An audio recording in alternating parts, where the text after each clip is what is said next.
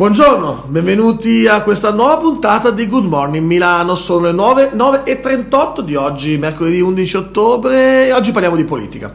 Eh, lo sapete, Good Morning Milano ormai nelle scorse mattinate ha parlato di tanti in tanti temi, abbiamo avuto anche già degli ospiti politici, poi abbiamo parlato di temi più leggeri come ad esempio il cibo, gli studenti e oggi, oggi, beh, oggi invece parliamo di politica, parleremo in particolare di centrodestra, ma non ci limiteremo, limiteremo a quello, ma anzi parleremo anche del rapporto ad esempio tra i giovani e la politica, ma soprattutto di quei giovani che fanno politica. Tutto questo non da solo, come sapete, come nello stile di Good Morning Milano, ma con un ospite che è qui con noi oggi, è Nicolò Fraschini. Buongiorno Nicolò. Buongiorno a lei e ai suoi spettatori. Grazie mille di essere venuto. Eh, possiamo dire, eh, Nicolò, eh, non ti abbiamo chiesto, eh, il sottobanco ci ha detto ex consigliere politico di Corrado Passera. Esatto. Partiamo allora da qui, nel senso, da una storia molto vicina, appena successa, che si è conclusa, si è anzi evoluta in qualcos'altro Uh, Com'è stato appunto l'avvicinamento con Corrado Passa e poi la campagna elettorale, le decisioni che poi sono state prese per poi andare avanti nella più grande area del centrodestra? Ah, Corrado Passera, eh, ormai quasi due anni fa, aveva fatto un lungo giro per l'Italia eh, cercando di capirne tutta una serie di problematiche, di incontrare cittadini, imprese, associazioni. Ha fatto un grande viaggio nel paese per capire se c'è uno spazio per creare un nuovo partito e parlare all'Italia profonda. Eh, secondo lui lo spazio c'era, fondò Italia Unica ormai a gennaio del 2015 eh, per poi decidere in realtà di cominciare concretamente il suo percorso politico candidandosi come sindaco di Milano, qui ormai parliamo di giugno dello scorso anno. Diede il via a una lunga campagna elettorale eh, che ebbe anche una discreta visibilità per poi però eh, il 9 aprile ritirarsi dalla corsa e decidere di eh, sostenere Stefano Parisi nell'ottica di rafforzare eh, l'unità del centro-destra e di provare a strappare Milano al centro-sinistra.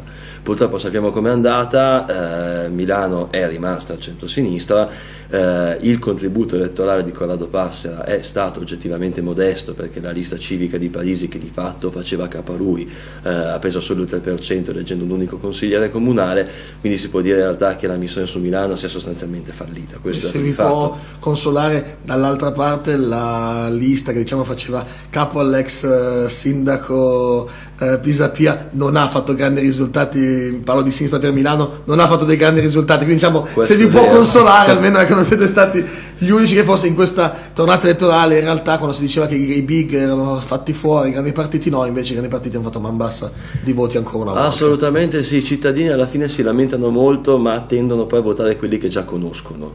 Eh, le liste civiche hanno sempre il problema appunto di riuscire a farsi conoscere in quelle fasce dell'elettorato magari meno istruite che seguono meno l'attività politica. Fatto sta che la lista civica di Passera si sperava potesse essere quella che faceva la differenza e invece non l'ha fatta, questo purtroppo è il dato, Milano è rimasta alla sinistra, tant'è che poi a inizio settembre, quindi dopo una, rifless- dopo una lunga riflessione estiva, eh, Passera ha deciso di eh, sospendere a tempo indeterminato eh, la sua attività politica e ha sciolto Italia Unica in pianta, in pianta stabile. Ecco, quindi eh, Fraschini, adesso quindi mi, mi, mi ritrovo con un Fraschini disoccupato oppure invece ha ritrovato un'altra collocazione e anzi forse anche più... Ma allora, politicamente Vediamo. disoccupato, diciamo che sono uh, svincolato più che altro, okay. posso parlare da, da, uomo libero. Come parametro allora, zero mi sembra si chiamino nel calcio. Nel quando, calcio, ecco, esatto. non sono molto calciofilo ma credo che... Ecco, diciamo che i parametri zero si possono prendere gratis, cioè io non, non mi reputo in vendita, ecco.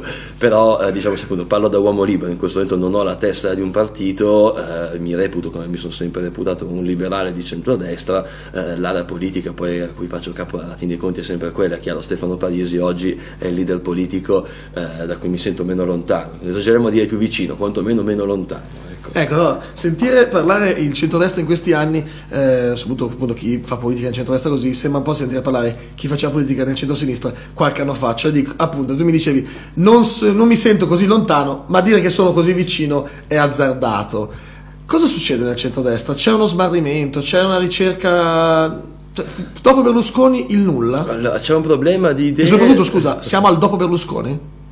Questa è la vera domanda, eh, non si è ancora capito quanto Berlusconi pesi, probabilmente non è più determinante per fare qualcosa ma è determinante nel bloccare qualunque cosa, qualunque fenomeno successivo a lui. È una posizione difficile che rende difficile in realtà il percorso anche a tante persone che fanno politica purtroppo, e lo dico nonostante la simpatia che ho sempre avuto nei suoi confronti, ma oggi come oggi è un fattore d'ostacolo secondo me per il proseguo del cammino. Comunque i problemi del centrodestra secondo me appunto sono due, eh, uno è di idee e l'altro conseguente è di leadership. A livello di idee il centrodestra ha avuto una involuzione totale, eh, nel 94 il centrodestra nasce come polo liberale, anche liberista per certi aspetti, che si batteva una, con un programma molto chiaro per la riduzione della spesa pubblica, per la riduzione delle tasse, per la diminuzione del peso dell'intermediazione politica nella vita economica del paese, quindi con un programma secondo me molto chiaro, cristallino Infatti fece sì che per quasi vent'anni ci fu praticamente sempre centrodestra, anche quando governava il centro-sinistra in realtà eh, le bandiere politiche più sventolate erano sempre quelle, quindi un programma molto liberale. Eh, complice anche la crisi economica, il centro-destra ha cambiato volto, non solo in Italia, una tendenza ormai adesso che ha perfino toccato la Gran Bretagna, eh, ha preso una piega sempre più populista.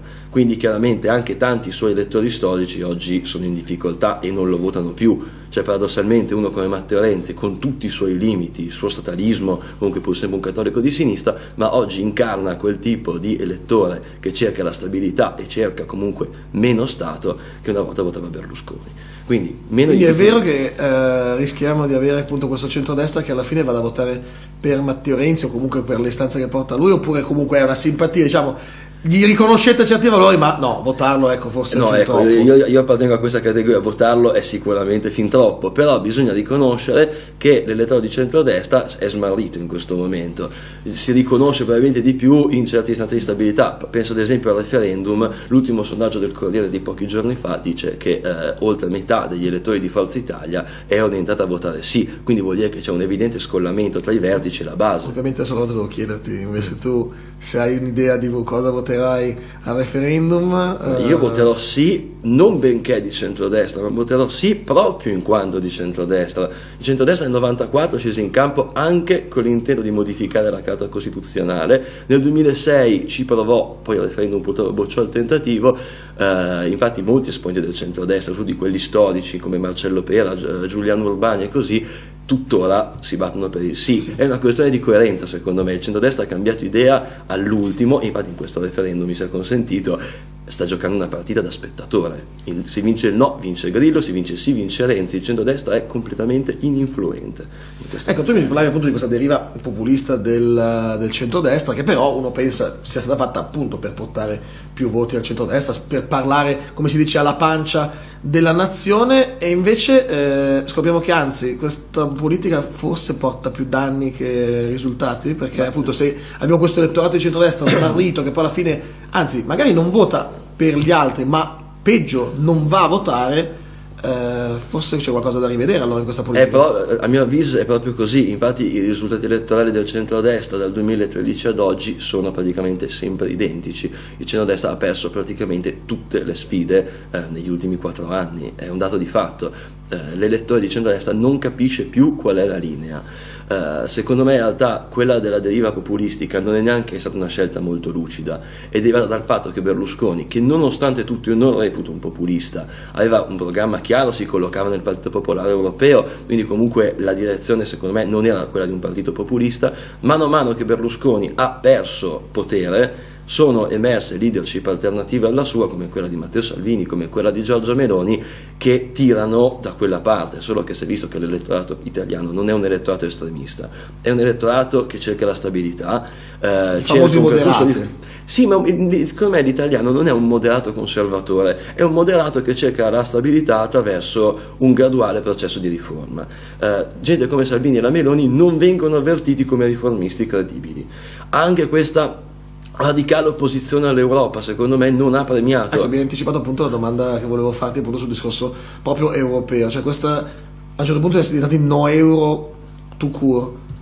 Cosa ha portato secondo te un elettorato invece molto probabilmente europeista in un certo punto di questo vista? Questo è il punto, cioè, chiariamo, l'ultimo referendum in Italia su questo argomento risale all'88, quindi può esserci stata un'evoluzione, ma quando nell'88 si votò eh, su un aumento eh, delle prerogative del Parlamento europeo in Italia, l'88% dei votanti votò sì.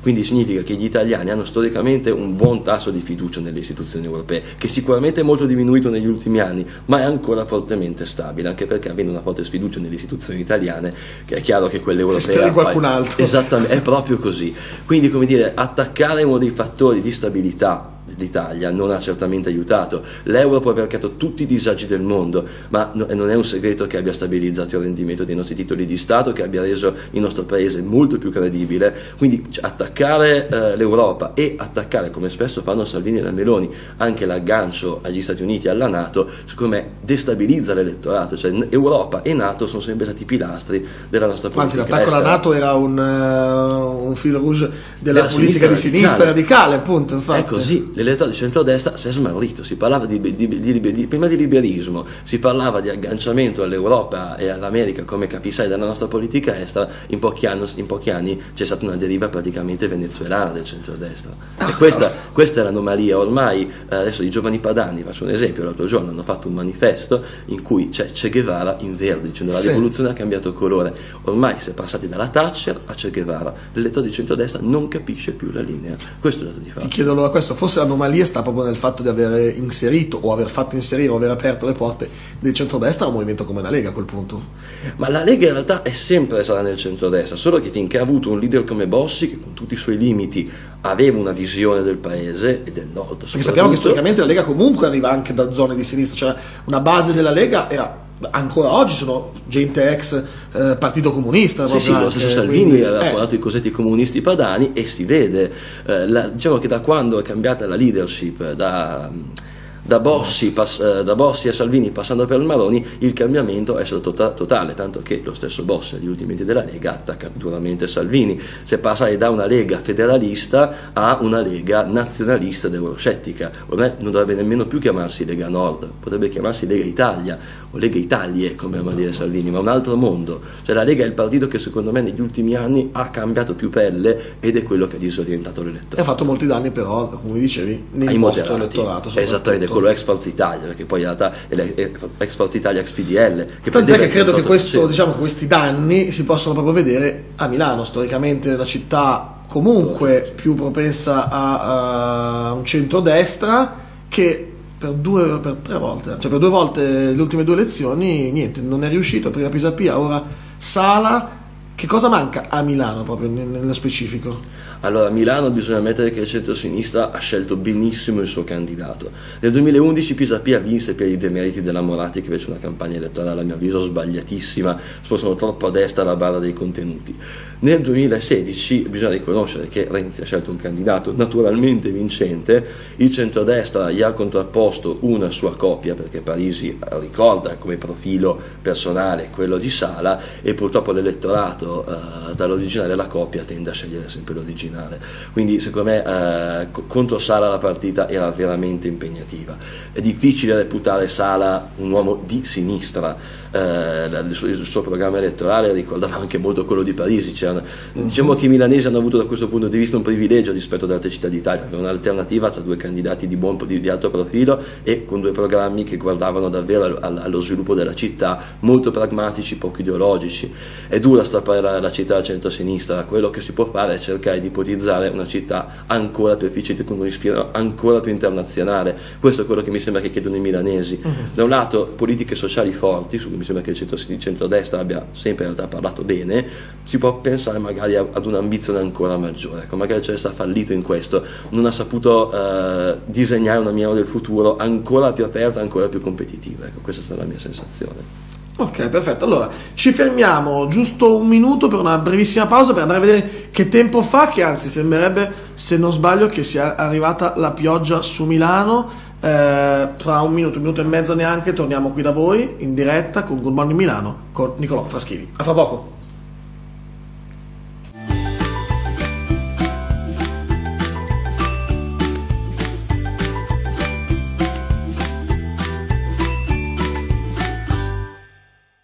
Ed eccoci di nuovo in diretta 9.54 dell'11 ottobre oggi. Mer- martedì, eh, avete visto, sta piovendo su Milano, eh, nonostante le nostre previsioni erano un po' più positive, diciamo nuvoloso così, invece anche oggi la pioggia è arrivata e mi sa che sarà così per tante settimane a venire e oggi anzi abbiamo parlato anche questo, le temperature sempre in discesa, ma ricordate che i riscaldamenti si possono accendere dal 15 di ottobre in avanti. Ma non stiamo parlando di questo questa mattina qui a Good Morning Milano, stiamo parlando di politica, lo stiamo facendo con Nicolò Fraschini, un giovane politico, è stato anche ex consigliere comunale a Pavia, perché tu vieni, esatto. arrivi da Pavia, adesso è un po' di mesi che vivi a Milano dopo la eh, campagna elettorale, molto probabilmente ti sei innamorato della nostra città e siamo ben sì, contenti che tu, sia, che tu, sia, rimasto qui a Milano. Eh, appunto, campagna elettorale che Nicolò tu hai iniziato eh, al fianco di eh, Corrado Passera, poi dopo il ritiro di Corrado Passera comunque siamo andati avanti a, eh, siamo avanti a sostenere la lista civica che, eh, di Parisi poi mi dicevi, sì, Parisi mi piace, diciamo che ecco, non, non gli sono vicino, ma non gli sono non mi piace così tanto, ecco. Non gli sono lontano, ma non gli sono neanche così vicino. Allora ti chiedo, un pregio e un difetto del Parisi, ovviamente del Parisi politico, cioè certo. la persona sarà una bellissima persona, anzi un grande imprenditore, e, eh, una bellissima televisione, anzi che noi eh, guardiamo e cercheremo anche di fare meglio, mi spiace, eh, signor Parisi, no? Scherzo. Eh, un pregio e un difetto politico. Allora, eh, il, il pareggio secondo me sono sicuramente le idee, che sicuramente è la cosa più importante per una, per una persona che si candida a guidare il paese. Eh, il suo programma, che lui insiste nel definire liberale e popolare, eh, richiama finalmente da vicino quello del 94 quindi è tornato a parlare di liberalismo che secondo me è il grande assente nello scenario politico italiano. Questo è positivo, ha parlato di apertura, ha parlato di competizione, ha parlato di mercato, sono tutte parole che eh, hanno un po' uscite dal vocabolario politico italiano. Ha parlato di riduzione della spesa pubblica e di conseguente riduzione delle tasse, anche questi sono temi che sono completamente usciti dall'agenda politica. Ha riportato in auge il tema del federalismo che negli ultimi anni, anche questo è stato completamente estromesso dalla all'agenda dei nostri governi, quindi davvero sulle idee secondo me c'è un positivo ritorno alle origini, cioè ripropone delle ricette che di fatto in realtà non sono mai state applicate, quindi possono essere ancora efficaci. Uh, il suo limite secondo me è un carisma che latita. Uh, sono stato tra i volontari alla sua convention del 16-17 settembre, però uh, devo dire non c'erano cuori che battevano, ecco. era una scelta più di, di mente che di cuore eh, e quando c'è da mobilitare le masse purtroppo è difficile mobilitare solo le menti, occorre mobilitare i cuori. Eh, manca secondo me questo lato emozionale su cui Berlusconi era a mio avviso impareggiabile e l'altro punto di debolezza, ma questo non posso imputarglielo, eh, è una mh, mm, scarsa chiarezza del mandato politico che gli ha dato Berlusconi. Un giorno lo appoggia, un giorno non lo appoggia, eh, sembra l'ennesimo tentativo. Negli anni Berlusconi ha fatto tanti tentativi di lanciare nuove leadership, non si capisce se questo sia l'ennesimo tentativo che andrà a vuoto. La mia speranza in realtà è che, va, che vada avanti, ecco, perché secondo me oggi come oggi nel centro-destra non c'è un altro leader credibile e potrebbe essere anche l'uomo che rilancia Forza Italia, che piaccia o non piaccia, ma è ancora ancora il partito principale nell'area dei moderati. Il rilancio del centrodestra passa dal rilancio della sua componente più forte. Parisi può essere la persona giusta, però eh, bisogna uh-huh. capire Berlusconi quanto lo vorrà. Se Berlusconi lo appoggerà seriamente mh, mm, c'è qualche chance di fare qualcosa. Ecco appunto, parlavi di carisma, dicevi che è un po' questo che latita in, in Parisi, una cosa che invece non si può eh, imputare al Movimento 5 Stelle, che come carisma anzi ne ha da vendere sicuramente, molto sicuramente nel leader eh, politico Grillo, ma anche nei nuovi arrivi di Maio, eh, di Battista, insomma, gente che eh, ha carisma e riesce a portare molta gente in piazza, soprattutto molti giovani. Ormai lo vediamo sia negli eletti sia nei volontari. Eh, è un partito davvero giovane dove i giovani si danno davvero da fare cosa che invece si perde negli altri grandi partiti. Tu hai invece eh, 30 anni ed è un po' di anni che fai politica, quindi hai iniziato eh, molto giovane, però invece hai seguito una strada un po' forse atipica per l'idea, l'idea che abbiamo di giovani e politica, che sono un po' o il centro sociale oppure in questo momento il Movimento 5 Stelle. Come sta? Come mai? Come è stato il tuo avvicinamento alla politica? Da, da quanto, quanto eri giovane? Quanto, Quanti Io iniziai a fare politica a 14 anni. Cavolo. Nel movimento federalista europeo che esiste tuttora e si batteva per, per l'unità politica dell'Europa. Poi diciamo la politica di partito l'ho iniziata a 16 anni iscrivendomi a Forza Italia, poi facendo tutto un percorso in quell'area. Eh, è chiaro che qualcuno eh, ironizza sempre sul fatto che un giovane possa essere eh, un cosiddetto moderato. Ecco, in realtà non mi sono mai visto come un moderato e, e, devo dire tanti miei compagni di partito non li ho mai considerati tali. Eh, ci consideravamo più che altro eh, dei rivoluzionari della libertà. La nostra è una rivoluzione diversa rispetto a quella eh, che sono i centri sociali o eh, legittimamente anche i giovani del Movimento 5 Stelle. È una rivoluzione che passa in realtà dalle istituzioni, passa dalla democrazia rappresentativa, passa da, da un efficientamento di quelle istituzioni. Eh, quindi una rivoluzione in un certo senso morbida, per come, per come la vedo io, ma una rivoluzione che in realtà potrebbe essere ben più incisiva. Il problema appunto è che negli anni fare politica da liberale è, diventato sempre più difficile perché eh, l'elettorato giovane tende a preferire forze eh, che sono non, che non sono più antisistema di noi, lo sono in maniera diversa, lo sono in maniera più eh, frontale, ma non sono più antisistema di noi. In realtà il sistema che i liberali hanno sempre voluto scardinare è un sistema di corruzione, quindi in realtà anche noi ci battiamo in quell'ottica, ma ci battiamo dentro le istituzioni più che fuori. Uh-huh. Poi sia chiaro, il centrodestra ha fatto degli errori gravi, ma continuo a non ritenere in realtà il Movimento 5 Stelle come una valida alternativa eh, da quel punto di vista.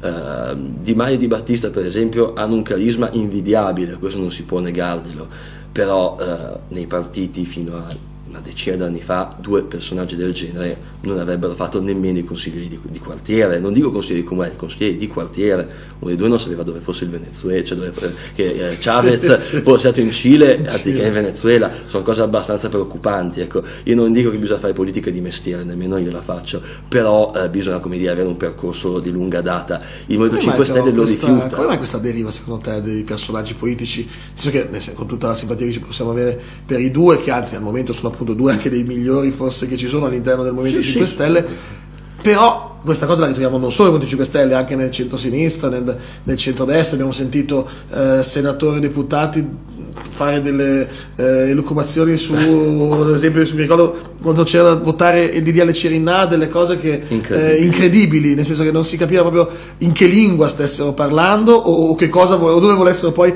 arrivare al punto. Come mai questo? Ma allora, secondo me i, i motivi sono due.